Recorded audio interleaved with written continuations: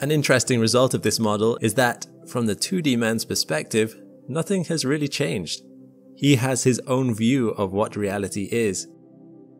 For him, the vector coming out of his chest is still time. The dimensions of the plane he's lying flat on is his space. To him, it's the rest of the universe that's gone a little weird, but he himself is perfectly normal. However, once he reorients himself, it is clear that the rest of the universe has moved on without him. This is clearer if we add a second 2D person. Initially, both of our individuals do not move in space. All of their vector is pointing in the direction of time. Nothing that strange seems to happen so far. However, if our stick man on the right turns and vectors at near the speed of light for a bit, then reorients himself, while the second 2D man on the left just stays where he is, it becomes clear that our 2D men have not moved at the same rate through time.